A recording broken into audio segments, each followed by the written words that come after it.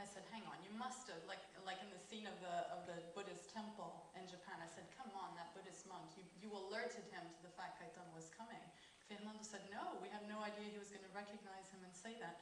So my question is, to what degree did you prepare a script or, or tell Caetano what you wanted the conversation to be about? And to what degree was it completely spontaneous and then you sort of did the editing at the end to, to move the story forward? Film school, I remember my teacher who said there is no such a thing as too much pre-production, too much preparation. And this project I solely ignore him. and because we actually have no preparation because we didn't know we were going to do the film in first place, so things were just happening. Uh, we the, the, only kind of preparation is that oh we are in Kyoto. I heard there's a very cool uh, uh, bamboo forest. Let's check it out.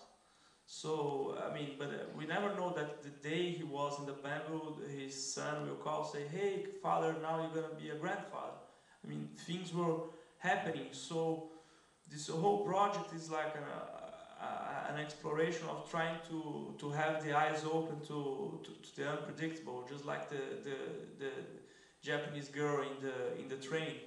I was in the train and I, I realized that in Japan, when you like six o'clock, the, everybody's going back to work extremely tired, and they are very like polite and kind of self-contained, so they just slept on a way that was actually thought it was pretty uh, beautiful and uh, and some a way to represent their culture and their uh, I mean because uh, I don't know if anyone had been in Japan before but it's very normal to see at six o'clock everybody's sleeping on the train so from so the the whole film is like trying to to get these small moments but always uh, facing this idea of try to, to understand uh, the feeling of coming from a small town and, and having your work show uh, outside, first in, in, Brazil and then uh, across the world.